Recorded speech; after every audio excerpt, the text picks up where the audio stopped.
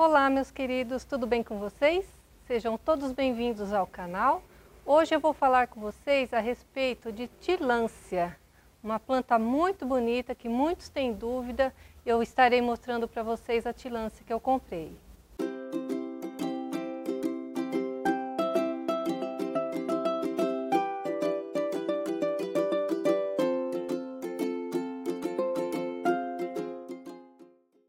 Então, gente, essa daqui é a tilância. É uma planta muito bonita. Ela é da família das bromélias. É uma planta originária da América do Sul. E ela costuma dar muito nos desertos, bosques, montanhas. É uma planta maravilhosa. Ela é uma planta epífita, então ela gosta muito de ficar grudada nas árvores, como as orquídeas. As flores, na verdade, não são essas. Essas aqui são chamadas de brácteas. E aqui ela dá uma florzinha roxa, muito bonitinha. E essa flor dura bastante, vale a pena comprar. Normalmente as flores se dão no outono, no verão e elas ficam muito bonitas, um, um, roxo bem escuro. Eu queria ter filmado ela com a flor, mas não deu tempo. Mas mesmo assim, já que ela está só a bráctea dela, já serve como uma floração, porque é muito bonita. Assim como a vrícia, ela também é uma bromélia de folhas diferentes, mas é uma bromélia da família delas.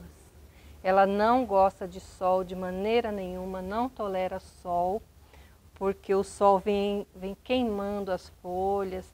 Então, o melhor lugar é deixar meia sombra. É, aqui ela está debaixo do sombrite de 80 e ela está se dando muito bem.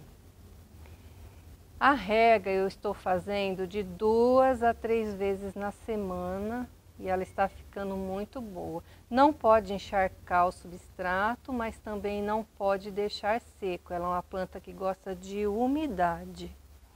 Ela gosta assim de climas quentes e úmidos, não tolera geada.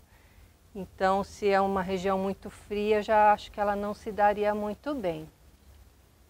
Assim como as demais bromélias, ela vai entolcerando. Aonde deu a flor, normalmente não nasce outra flor, mas ela vai aparecendo seus filhinhos aqui, nos seus filhinhos vão nascendo as flores. E a planta mãe vai morrendo, vai secando. E assim ela vai se entolcerando. O substrato melhor para ela é uma mistura de terra vegetal, carvão, brita, pode colocar um pouquinho de esfagno, é, um pouquinho até de areia se quiser, mas procurar deixar bem drenado e um solo úmido, não deixar secar, porque a, as bromélias gostam de umidade. Não é encharcar o solo, elas gostam de bastante umidade, luminosidade. Não adianta deixar dentro de casa, porque com o tempo elas não vão ficar bonitas. Podem até aguentar no começo, mas depois elas vão ficando feias, vão murchando. Então, o melhor mesmo é deixar a meia sombra, não deixar pegar sol e ir regando com frequência, sem deixar apodrecer as raízes. As mudas podem ser tiradas por toceiras, conforme ela for soltando as mudinhas, vai tirando a toceira e vai replantando. Se bem que a planta mãe vai morrer, essa daqui eu pretendo colocar em um vaso um pouco maior, porque ela vai entolcerar mais, quanto maior o vaso ela vai entolcerando. É muito bonitinha essa planta. Essa planta nós adquirimos ela lá no Orquidário Oriental. É muito bonita mesmo. Existem umas que tem as brácteas amarelas, são muito bonitas.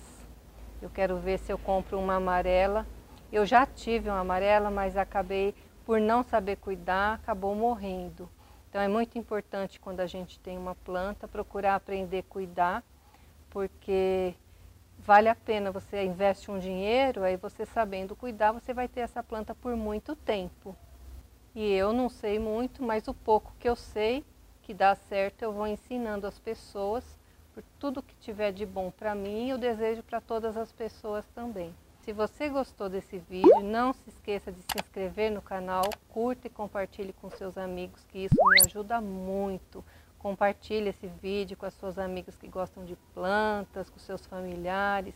Não esqueça de ativar o sininho de notificação para receber todos os vídeos que eu envio. Espero que vocês tenham gostado desse vídeo. Fiquem com Deus e até o próximo vídeo.